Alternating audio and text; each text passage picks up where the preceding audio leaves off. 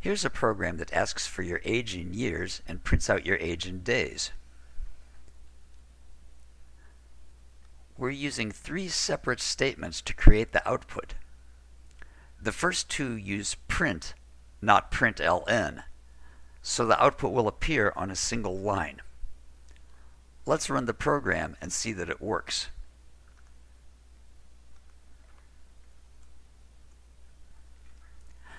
That's a lot of work to create a single line of output. There must be a better way. One better way is to use a plus sign. Let's go into JShell, a tool that comes with Java 9 and above. It lets us try out Java expressions without having to write a whole program. We know that plus works with integers and with doubles.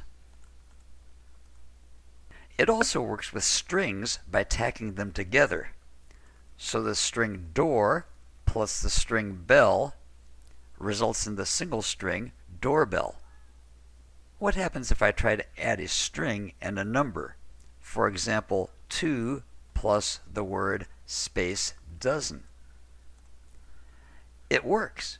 That's because Java converts the number 2 to a string and then tacks on the word dozen. Now that we know that this works, we can go back and modify our program. Instead of these three lines, we'll make one line and use a plus sign to join all the parts together. We need to put the blanks in ourselves to make sure they appear in the output. Let's compile and run and it works great. Here's a program that lets you enter a price and it tells you the amount you pay with a 15% discount. Let's run the program with a price of $25. Looks good. Now let's run it again and this time put in a price of $20 that output isn't quite as lovely. And if we run the program with an initial price of $4.90, the output is really ugly. To solve this problem, to get exactly two digits after the decimal point, we need to use string formatting.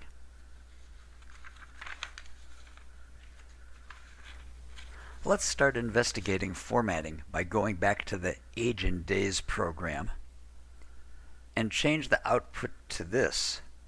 Instead of println, we're going to use format and we're going to have one string that is about percent sign %d days. What's that percent sign %d? It's a format specifier. Whenever you see a percent sign, Think of it as a placeholder where a value will go into the string. The D specifies that we want an integer to fill in that placeholder. The letter D is used for integers for historical reasons, by the way. After the string, we give the variable that fills in the placeholder. Days will fill in this percent sign %d placeholder. Just like print, format does not give us a new line. So we have to explicitly give a new line character, which we write in Java as backslash n. Let's compile this program.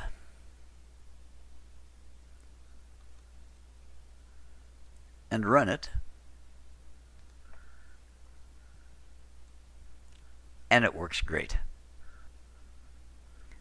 You can have multiple placeholders and specify multiple variables to fill them in. I can change my output to say placeholder years is about placeholder days and then provide the variables that fill in those placeholders, compile, run it again, and get my nicely formatted output, all without needing a plus sign anywhere. Let's return to the discount program.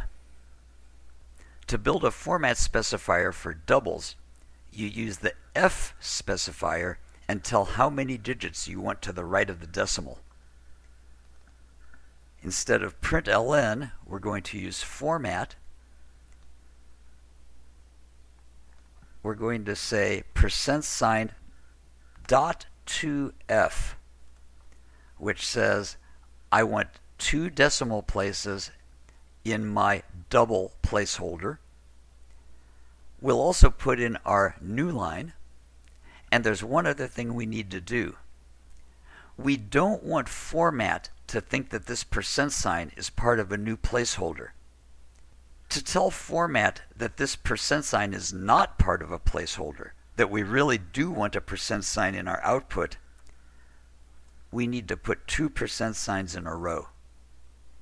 Now that we have our format string with its placeholder, we give the variable to fill in that placeholder. Let's compile that. And when we run it with our $20, we get 17.00 and when we run it with an initial price of $4.90, we get $4.17. You'll notice that format has rounded the number for us. There are many other format specifiers, and you can add information that tells how many spaces a number should take up. This lets you produce output where everything lines up nicely.